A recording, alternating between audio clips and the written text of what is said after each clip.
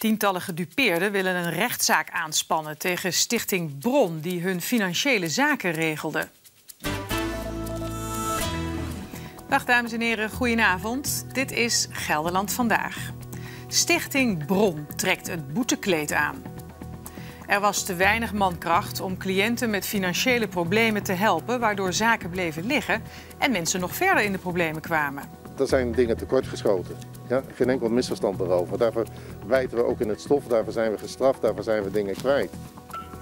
Een record verbeteren doe je niet zomaar. Dat moet natuurlijk worden geoefend. En dat deden 84 parachutisten boven Teugen. Zo'n beetje alles wat op stoom kan lopen was vandaag te bewonderen in Nijkerk.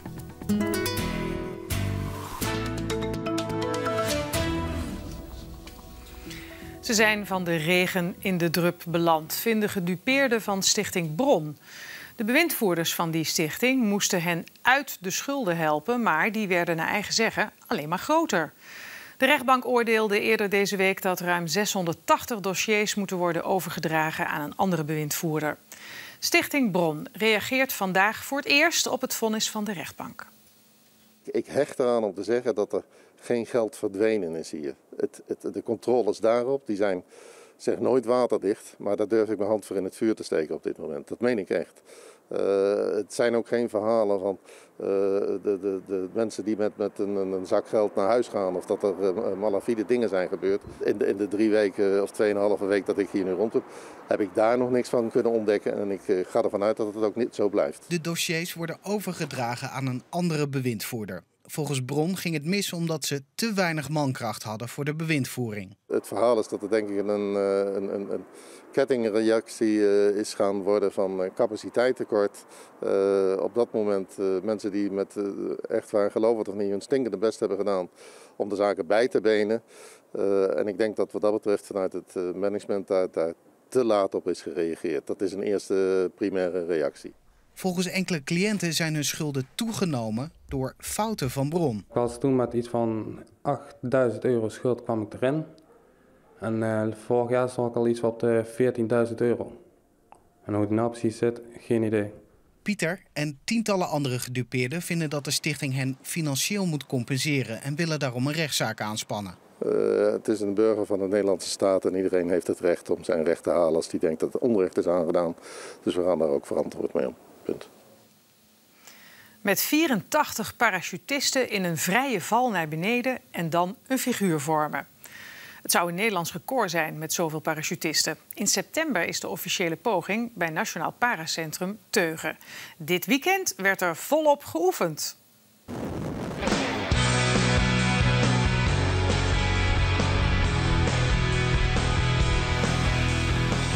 Record met 72 parachutisten staat sinds 1999. Volgens de initiatiefnemers tijd om dit boven Teugen te verbreken. Maar dat kan alleen met veel training en ervaren parachutisten. Iedereen probeert onder de juiste hoek eh, aan eh, te vliegen en dan eh, aan te sluiten aan de formatie. En dat is de training voor het uiteindelijke record. En als dat gaat zoals iedereen dat wil doen, ja, dat, dat geeft gewoon voldoening. De parachutisten komen uit heel Nederland. Ze moeten de nodige weekenden opofferen voor de training. Maar dat wordt goed gemaakt door een enorme adrenalinekick. Nee, die komt wel uit de oren. Ja, dat was wel uh, een mooie sprong. Je gaat uh, 200 km per uur naar beneden.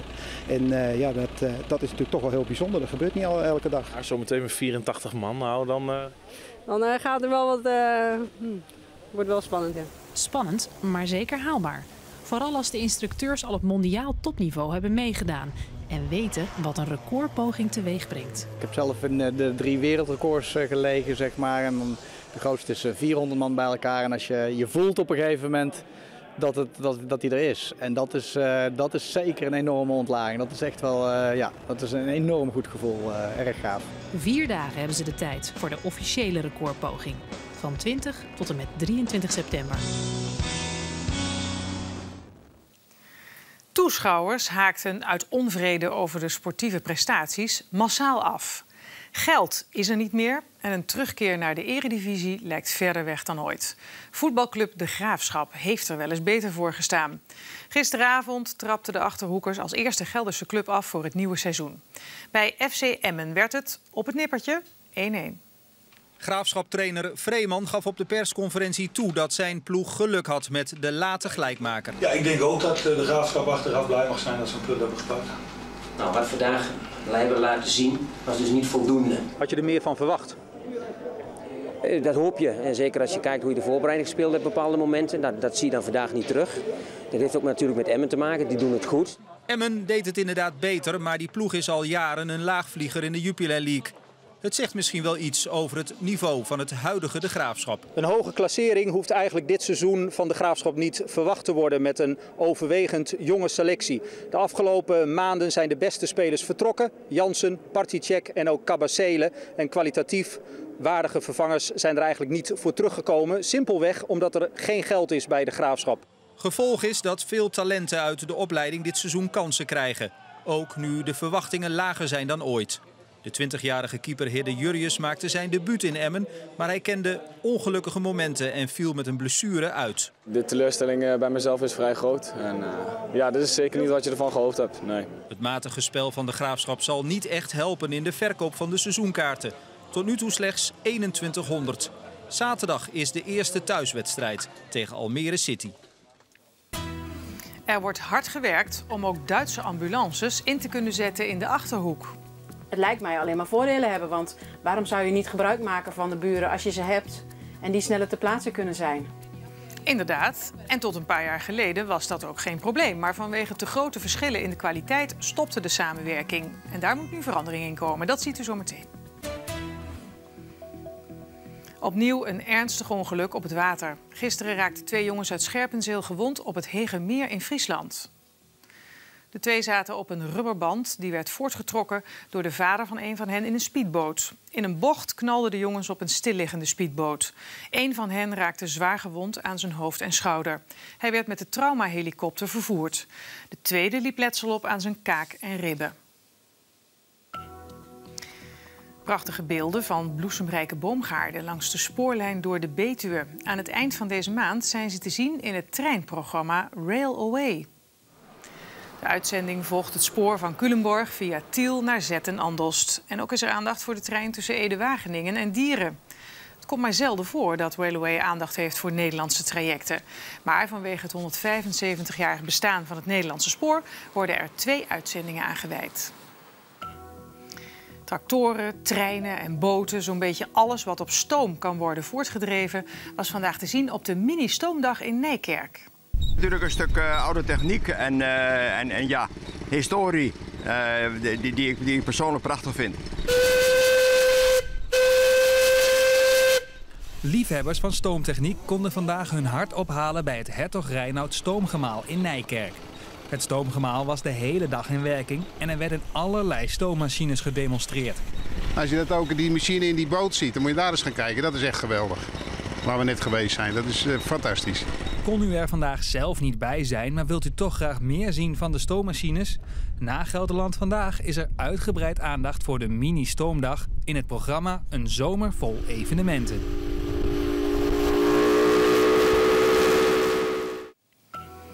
Een prachtige nieuwe zaal ten spijt. De dames van het Nederlands volleybalelftal gingen gisteravond in Doetinchem ten onder tegen Puerto Rico. Was de eerste wedstrijd die in de nieuwe topsporthal werd gespeeld. De Nederlandse dames kwamen nog wel op een 2-0 voorsprong in sets, maar gingen tegen de taaie dames uit Puerto Rico ten onder met 2-3. Vanavond en morgen komen de Nederlandse dames weer in actie in Doetinchem. Een delegatie van de stichting Airborne Herdenkingen reist volgende week naar Engeland voor de begrafenis van oorlogsveteraan Johnny Peters. De 91-jarige Brit overleed gisteren in Londen aan de gevolgen van een longontsteking. Peters maakte in september 1944 de slag om Arnhem mee. Johnny Peters was een bekend gezicht in Arnhem en omgeving. De afgelopen 40 jaar bezocht hij trouw ieder jaar de herdenking van Operatie Market Garden. Tijdens de herdenking vorig jaar kreeg Pieters een boek overhandigd over zijn eigen leven. Op de allereerste plaats natuurlijk wat hij in de 44 gedaan heeft. Want hij heeft echt onder hele moeilijke omstandigheden toch uh, ge geopereerd. Hij is uiteindelijk tot aan de Westerbouwing gekomen. Nou ja, die dagen dat was echt een hel. En ook toen hij de Rijn over moest uh, steken met zijn maten, dan, uh, toen het uiteindelijk misging. En wat we nooit mogen vergeten is ja, zijn betrokkenheid bij, bij Arnhem, bij alles wat we hier doen. En, ja, de, je, je kon hem, daar kon je hem dag en nacht voor bellen. Hij stond, daar stond hij voor klaar. Pieters was ook stevast in Gelredoom te vinden, waar hij wedstrijden van Vitesse bezocht. Ergens volgende week zal Johnny Pieters worden begraven in het Engelse Ipswich, waar ook zijn vrouw begraven ligt. Mag een Duitse ambulance in Nederland hulp verlenen? Een vraag die tot 2011 simpel met ja kon worden beantwoord. Maar daarna mocht het niet meer.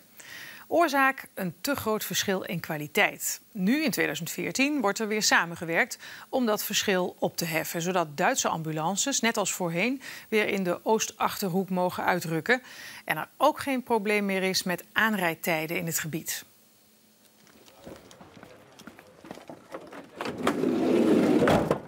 In ons land is het vanzelfsprekend. In een ambulance zit naast de chauffeur een verpleegkundige met een lange opleiding. Daardoor kan en mag die meer dan de Duitse collega. Autobom, bestuurders zitten bekneld, brandweer en politie zijn ook onderweg. OPDG wordt ook ingeschakeld. Ja, gaan we naartoe. Het verschil tussen de Duitse ambulanceverpleegkundige en die aan de Duitse kant zit hem vooral op het gebied van uh, handelingen die je mag verrichten op de plaats van het ongeval. Ik weet niet of, jij, of het vergelijkbaar is, want ik heb nooit in jullie auto's gekeken. Ja, maar we hebben dezelfde Ja, jullie hebben ook de corpus? Ja, oh, dan kan je dat. Nou, hier hebben we dan... Jenny Weijden geeft haar Duitse collega uitleg over de inrichting van de ambulance. Om een verschil in kwaliteit en inzetbaarheid weg te werken, wordt er per 1 januari gestart met een nieuw project.